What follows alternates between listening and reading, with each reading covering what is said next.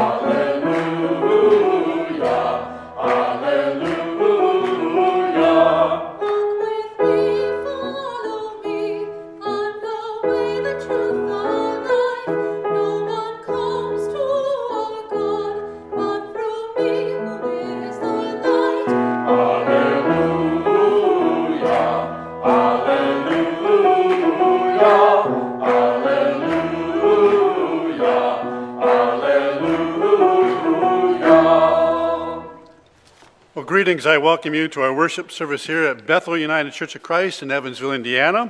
I'm Reverend Samuel Buer, and I'm pleased to say that no matter who you are or where you are on life's journey, you are welcome here, here in this place where we strive to be united in seeking God's will and in serving all people. So, again, we welcome all of you who are gathered with us in person, as well as those that are joining with us online uh, this morning.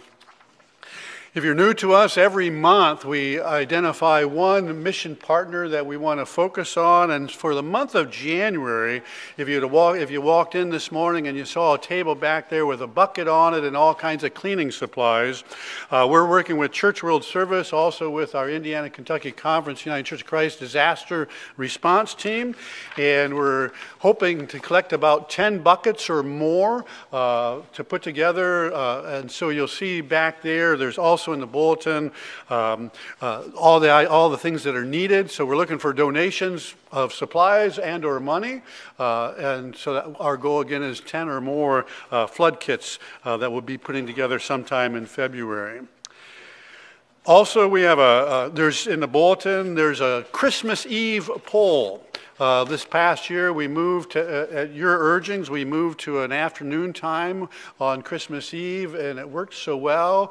Well, now we thought we'd pull one more time, and the offering was, uh, the question was, do we want to, worship committee said, do we want to have it at 3 o'clock or 4 o'clock? And so there's a poll in there.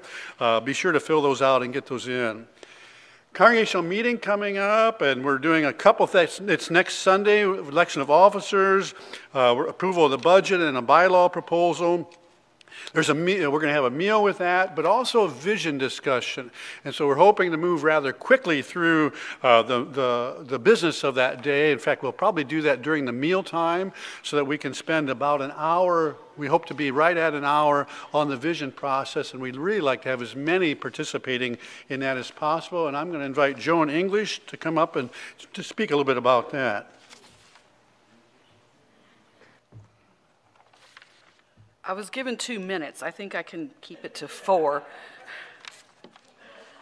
The last few weeks, the Convergence or Visioning team have presented the lack of affordable housing, violence, food shortages, and better support of our Bethel Buddies and Stockwell families as the four main issues facing our community that we wish you to consider. We have been told that to tackle our goals, we need to be open to change. As a part of this process, we were tasked with interviewing people from our community. The interviews I did definitely changed me. Within the first five to 10 minutes of asking Catherine Martin, Knight Township assessor, what brought her to her position, I was hearing the story of the 2005 tornado that destroyed the East Park mobile home neighborhood in Evansville. Her little son CJ, her mother in law, her grandmother in law, three of the 25 that were killed. The firefighters found them and brought them home. The firefighters became Catherine's heroes that day. In 2009, there were financial troubles with the Knight Township Assessor's Office and talk of shutting down the fire department. She ran for office with firefighters knocking on doors campaigning for her, and in 2010, she won by two votes out of 18,000. The first thing she had to do when she got into office was shut down the fire department due to lack of absolutely no funds available. Many of you have already heard about a portion of my interview with Denise Carter, the preschool director, in which I found out we have preschoolers and their families on the state voucher program that are dealing with food insecurity. We put them on a list along with some Stockwell families to receive Thanksgiving food baskets. When they received your support to buy, we then received your support to buy Christmas gifts for Bethel Buddy families, and we very much appreciate the generosity. You know, it's one thing to talk about food insecurities and supply a few meals at the holidays, but honestly, I greatly dislike the term food insecurities. It sounds so clinical and distant. We're not talking about people who don't have the ability to make a decision on trying new food. We talk about the people who have no food to try. When I asked Denise what she would dream of for our community, she quickly responded to see people, really see the people. When you say food insecurity, I see a little preschooler's face that I was reading a silly story to while not aware of her growling belly. People are hungry year round every day. People walking our halls, people that live in our neighborhood, people who are trying but able, unable to keep up with the cost of their family's basic needs, people who need to be seen. Many weeks ago, I started putting food on a cart in our hallway with the sign, Need one, take one. I've been trying to keep it full, but within a couple of days of refilling it, it's usually mostly depleted. People who are going hungry aren't likely to have much money for gas if they are lucky enough to have a car that would get them to a food bank or free meals. So I've been trying to band aid the problem with what I'm calling Pat's Pantry, named after my mother, Pat Perigo. The irony still gets me. In the middle of fast foods and grocery stores, on every corner, there are hungry people. According to online statistics, 20% of Evansville is dealing with food insecurities. That's one in five people. One in five people are hungry. Do you see them? Bring your ideas, thoughts, and passions to our meeting next Sunday.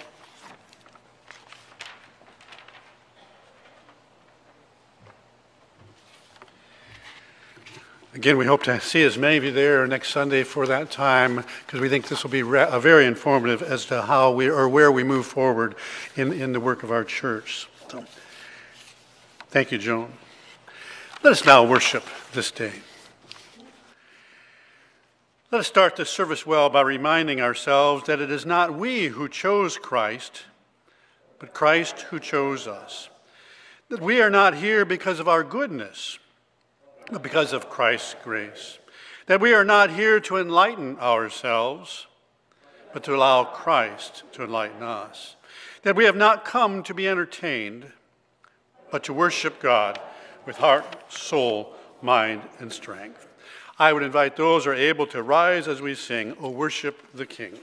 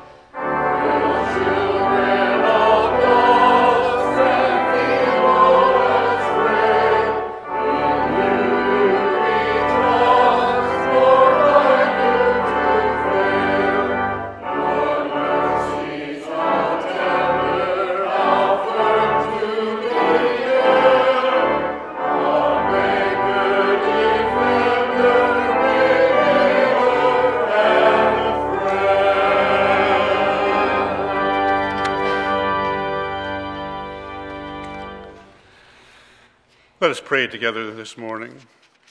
Eternal God, the refuge and help of all your children, we praise you for all you have given us, for all you have done for us, for all that you are to us.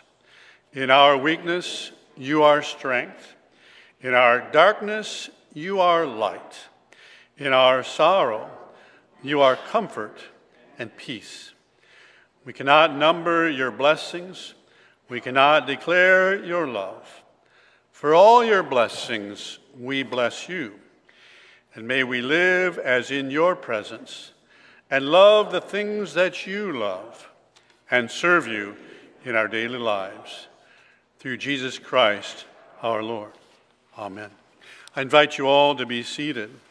The scriptures for this day are from the book, the old, the Hebrew scriptures of the book of Jonah. And so we've, we've got the service built around that, the sermon, and now a song. Uh, who did?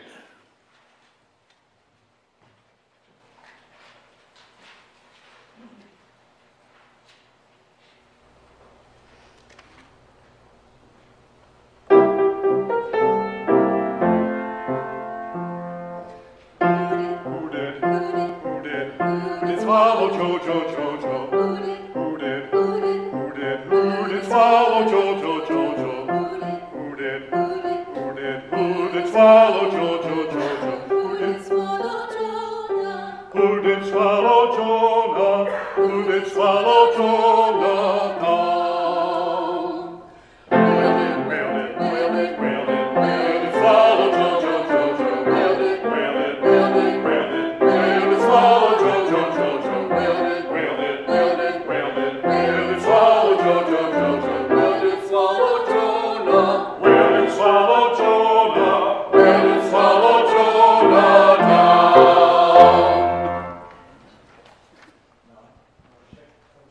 Does someone want to come up here by me?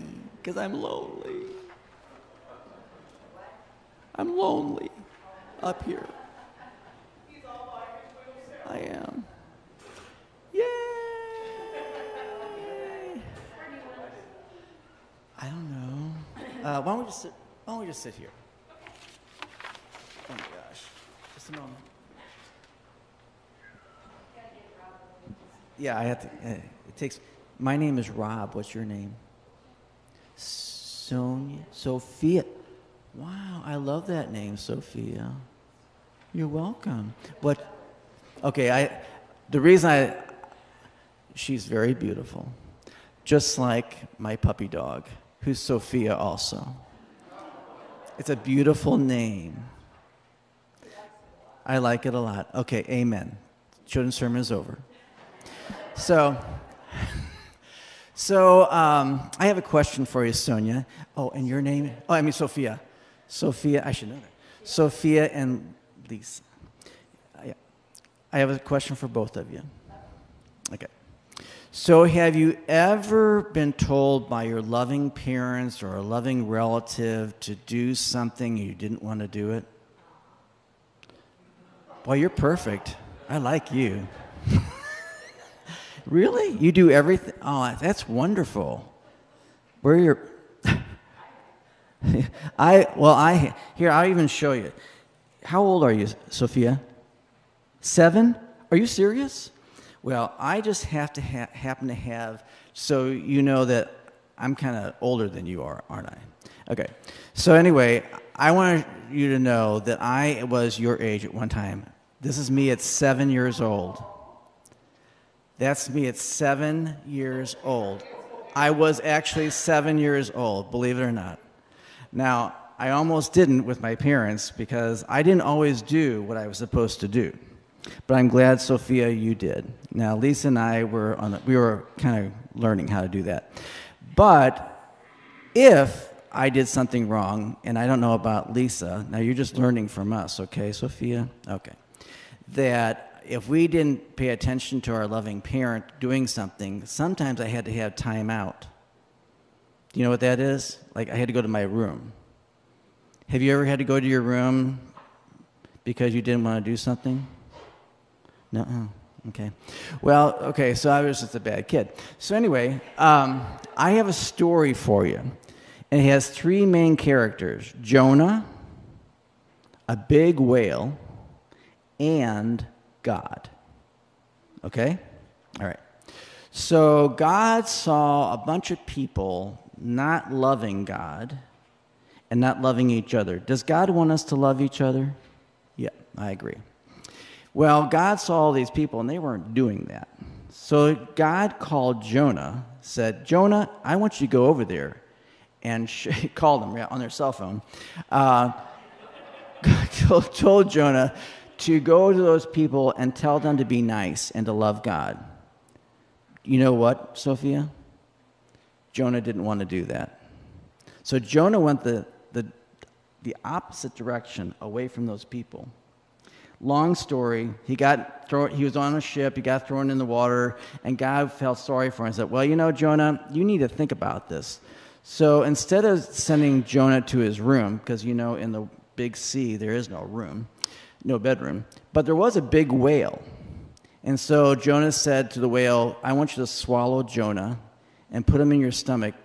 So the whale did that. Now, this is a story, mind you. So um, Jonah was in the belly's whale for three days and three nights, and Jonah had to think about what God asked him to do. And what do you think Jonah finally figured out what to do? What do you think? Yep, he had to go back and talk to those people and, and do what God told, her, told them to do. So that's something all of us, even, all, even the little people in all of us adults, all of us are, are big people, but there's this little person inside of you, just little Robbie Hartman inside of me.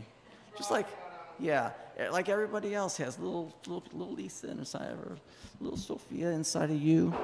Anyway, we all need to learn to pay attention to what God asks us to do. And one of the biggest thing God wants us to do is to help people feel God's love. You know how we do that? How do we do that, Sophia? We think of Him? Yes. And when we think of God, what is God, what do you think God wants us to do? What do you think God wants me to do for you? Hmm? You don't know? God wants me to love you and be nice to you.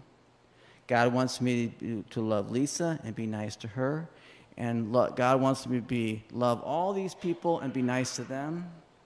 And God wants Sophia to be nice and love people, all these people, even the people outside this church. Okay? All right, let's pray. Oh God, help us to be nice to other people and to love you always. Amen. Okay. Thank you, Sophia. All right.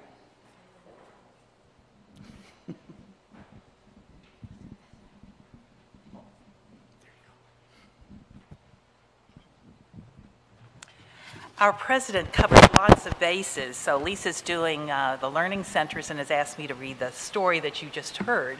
So a little bit more uh, specificity here. The story of Jonah is the story of the prophet sent to the Assyrians, as Rob has told us, in Nineveh. They were the enemies of the Israelites. And those who heard the story that we are about to share knew that both Nineveh and Jerusalem had been destroyed.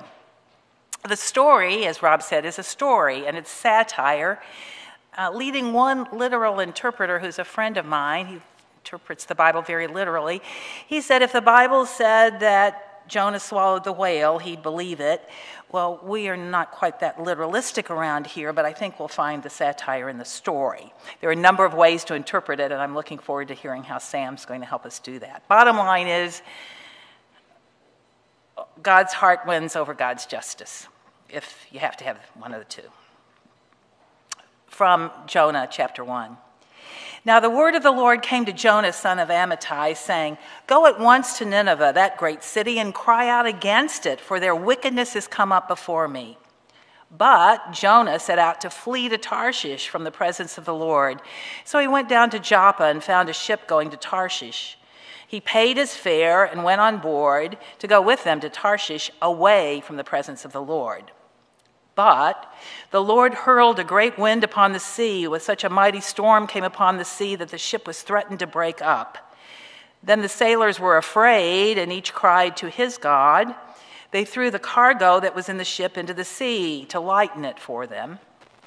Meanwhile, Jonah had gone down into the hold of the ship and had lain down and was fast asleep. The captain came and said to him, What are you doing, sound asleep? Get up, call on your God. Perhaps your God will spare us the thought so that we do not perish. And the sailors said to one another, Come, let us cast lots so that we might know on whose account this calamity has come upon us. So they cast lots, and the lot fell on Jonah. Then they said to him, Tell us why this calamity has come upon us. What is your occupation? Where do you come from? What is your country? And of what people are you? I'm a Hebrew, he replied. I worship the Lord, the God of heaven, who made the sea and the dry land. Then the men were even more afraid and said to him, What is this that you've done? For the men knew that he was fleeing from the presence of the Lord because he told them so. And then they said to him, What shall we do to you that the sea may quiet down for us? For the sea was growing more and more tempestuous. And he said to them, Pick me up and throw me into the sea, then the sea will quiet down for you, for I know it's because of me that this great storm has come upon you. Nevertheless, the men rowed hard to bring the ship back to land, but they could not, for the sea grew more and more stormy against them. Then they cried out to the Lord, Please, O Lord, we pray, do not let us perish on account of this man's life. Do not make us guilty of innocent blood, for you, O Lord, have done as it pleased you. So they picked Jonah up and threw him into the sea, and the sea ceased from its raging. Then the men feared the Lord even more, and they offered a sacrifice to the Lord and made vows. But the Lord provided a large fish to swallow up Jonah, and Jonah was in the belly of the fish three days and three nights. This is a part of our sacred story.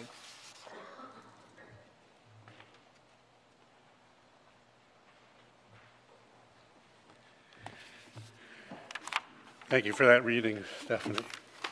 Let us bow our heads now for a moment as we prepare to hear this word preached this day. Let us pray. Almighty God, may the words of my mouth and the meditations of all of our hearts be found acceptable in thy sight, O Lord God, our rock and our Redeemer. Amen. Amen. Well, if you're new to us, microphone on there. If you're new to us, you might not know that every once in a while, maybe about once a month or not quite that often, I'll pull out that rocking chair and I'll do a sermon from the rocking chair. It takes on a different tone when I do that, I found. And when I do it, I, I feel like I'm inviting you to my front porch to share a bit of something I've learned. So I'm going to invite you to my front porch this morning to share with you something that I've learned about this story.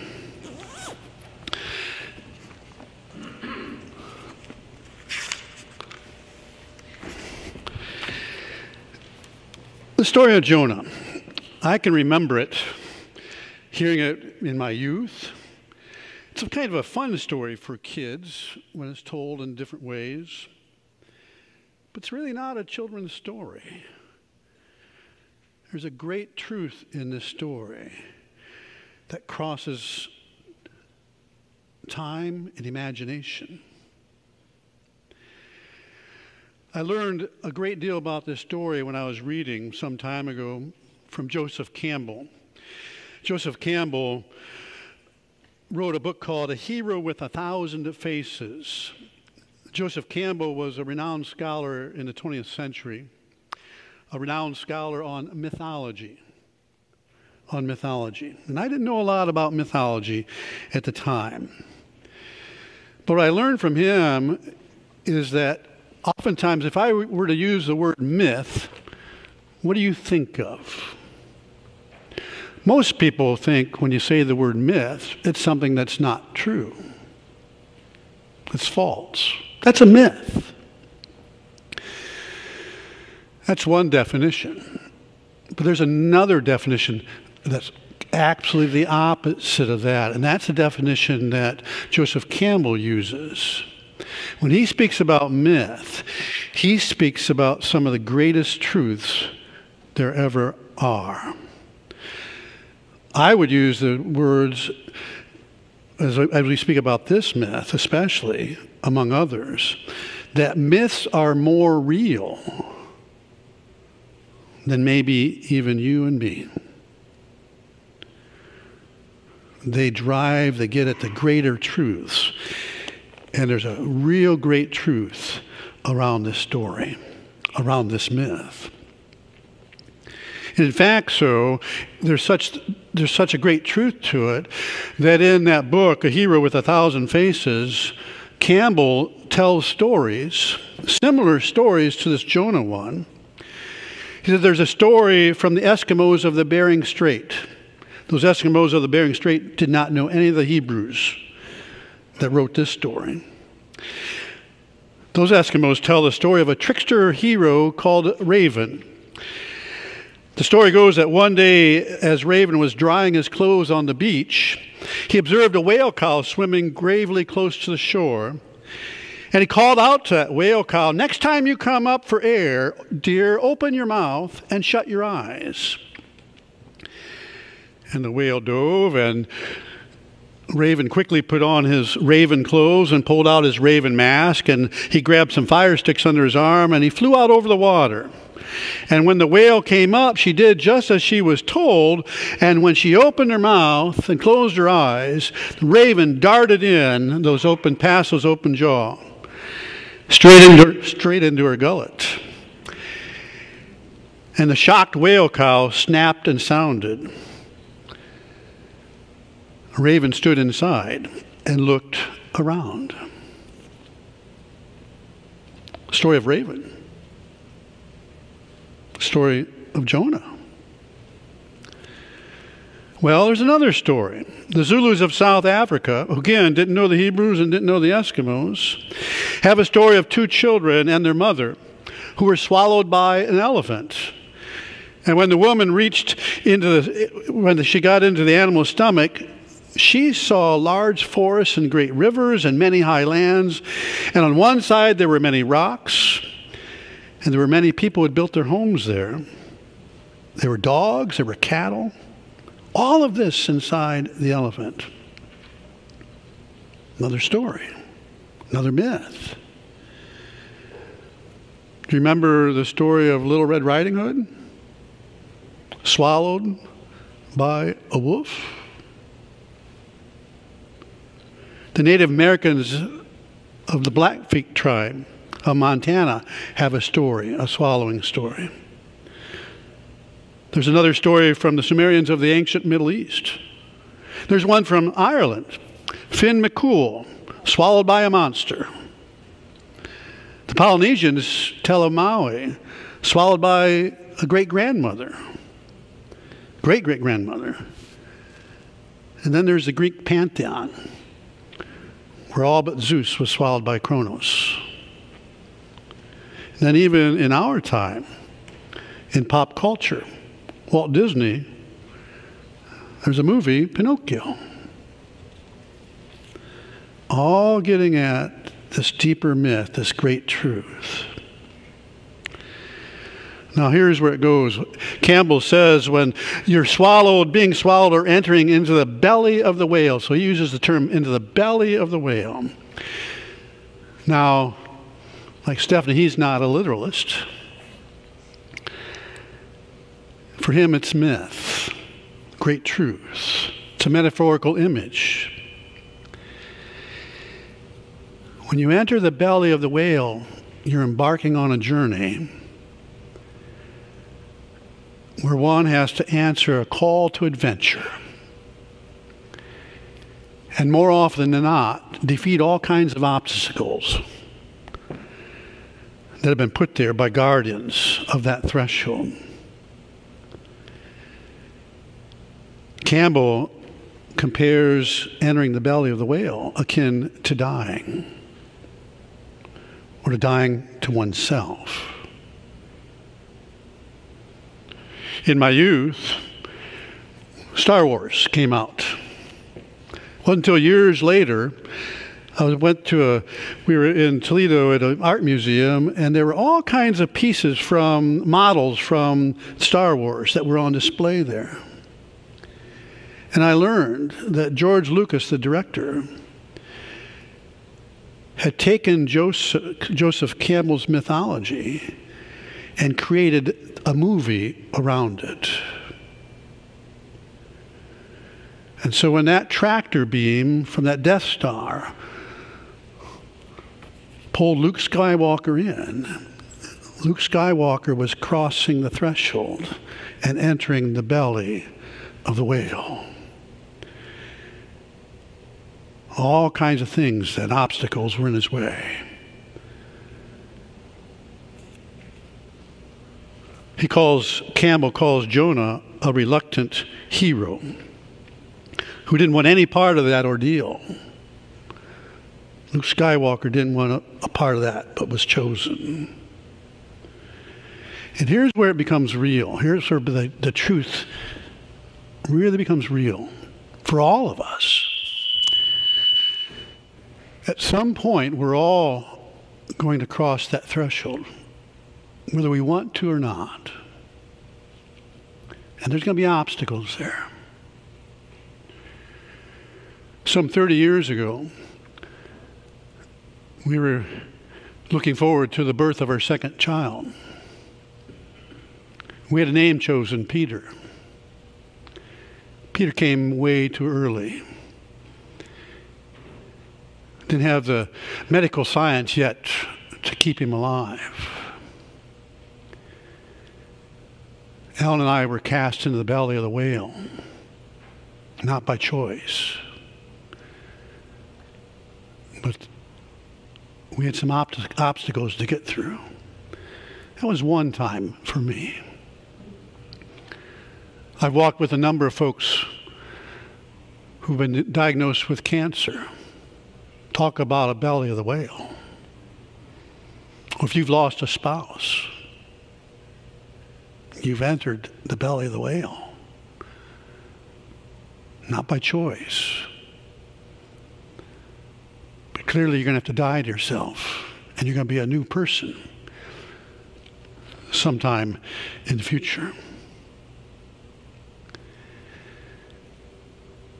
Campbell also used the word tomb for that belly of the whale. Again, a place of rebirth. It's interesting that the early Christian church, for the first couple centuries, the image that they used more often than not for Christianity was a fish. The cross was not the prominent symbol until many centuries later. Because they understood that Jesus had died and entered that belly of the whale, had entered the tomb. In that three days and three nights, you notice Jonah, how many days and nights?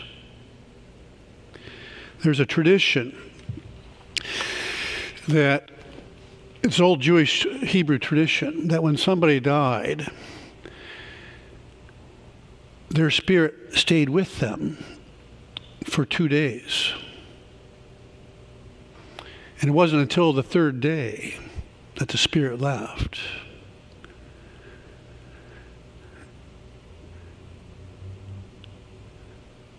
That's the three days. Dying to oneself and coming anew. Again, the church claimed that story. Jesus being resurrected on that third day, coming out of the whale, and came with a new message because when you live through it, you gain some insights. And he came back and said, Never again will evil win. It appears to win, but the message of the gospel is that evil will not win. And it's love that wins. It's love that's going to make this world go round. I'd love to tell that message to a bunch of leaders right now in the Middle East who don't get it.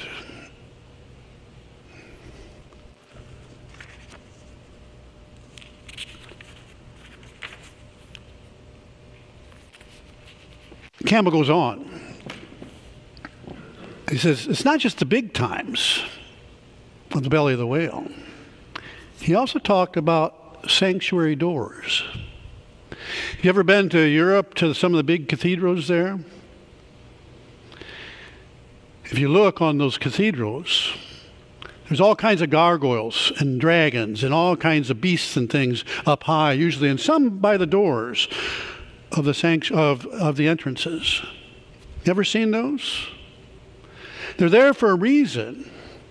They're trying to ward to scare us off from entering. They're like the teeth of the whale. You got to get past them for this wonderful thing, this change to happen. So we compared, and you know, I didn't think about it this morning when I walked in the doors over here. There's no gargoyles there. But essentially, he says every time you enter these sanctuaries, you're entering the belly of the whale. And you're going to be possibly changed by what happens in this sacred space.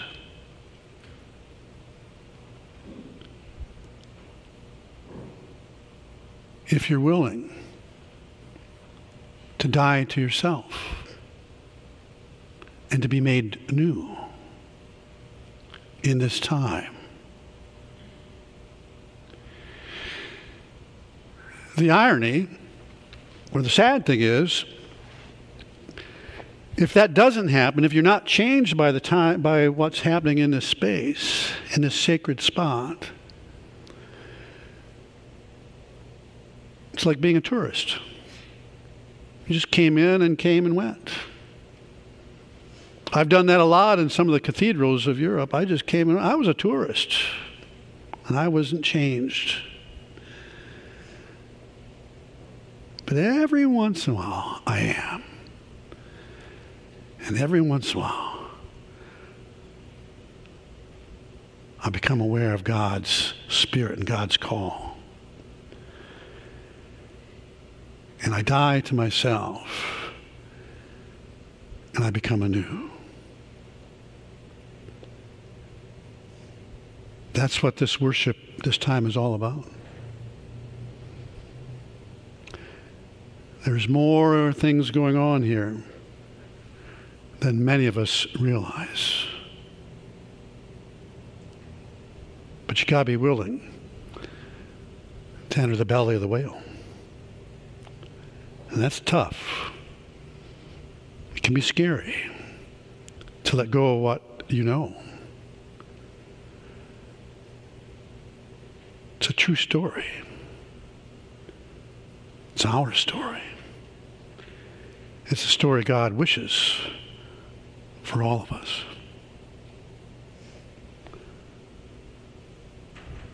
Amen. Amen.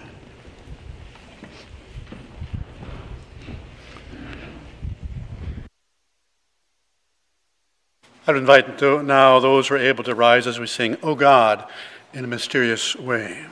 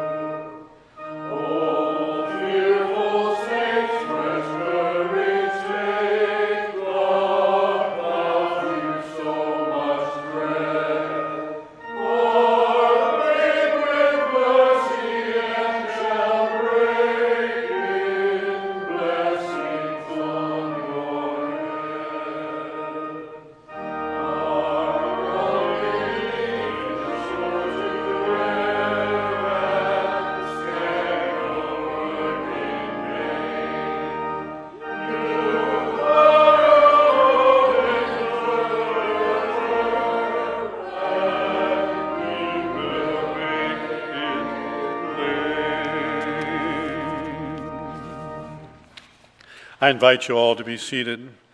We turn now to a time of prayer, and let us remember those that we named beforehand as well as our own prayers that we offer up when we come to that time of silence. Let's join now. O deep mystery, vital center of our lives, we know your presence is not called up by much speaking. Rather, we may honor your presence in the absence of noise, in the promise of the morning, in the dancing brightness of the sun. We are struck in awe before the great mystery of the cosmos.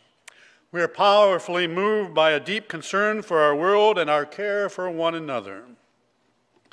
May ours be a faith that is more than words and ideals. May ours be a faith of vitality and compassion. Let's be in a time of silence.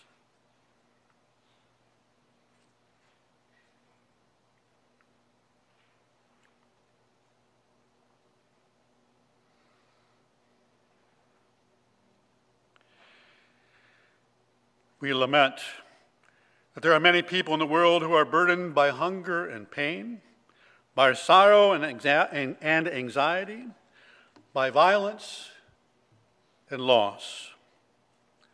May they find comfort and peace, and may their burdens be lifted from them by our actions as peacemakers and doers of justice. Let's be in silence.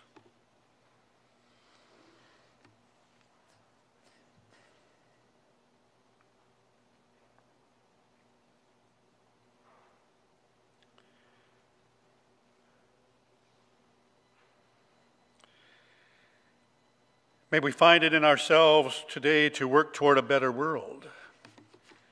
May we make use of that energy to take part in the lifting of burdens. May our gratitude find expression in the care of others, both near and far. And may we find ways to live and grow on the margins. May we live behind us a trail of encouragement and hope and having spoken much, perhaps too much, now without a word, we rest in your eternal presence. This is our prayer. Let's be a time of silence.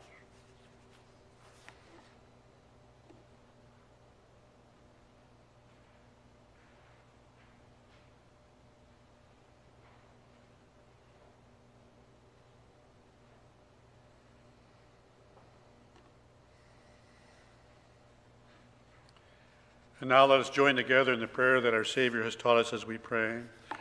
Our Father, who art in heaven, hallowed be thy name.